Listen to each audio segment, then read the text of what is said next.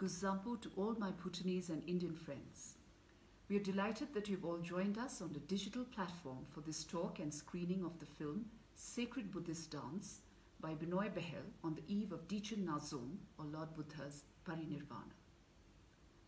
Of course, we all know the story of Siddhartha Gautam, that of an exceptional individual many centuries ago who told us of the balance within life, who spoke of the inevitable suffering as well as the antidote, that which lies within the pursuit of everyday life.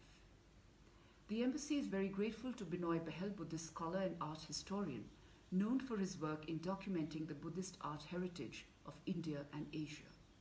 He is no stranger to Bhutan, having visited this beautiful country on a previous occasion. He has also directed a critically acclaimed film on Guru Padmasambhava, which has been screened at many forums, including a screening quite recently at the Embassy of India, Thimphu.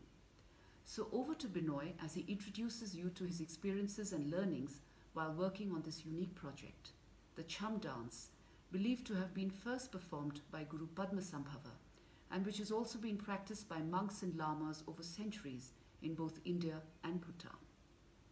And to all my Bhutanese and Indian friends, I wish all of you a blessed parinirvana. Tashi Delek.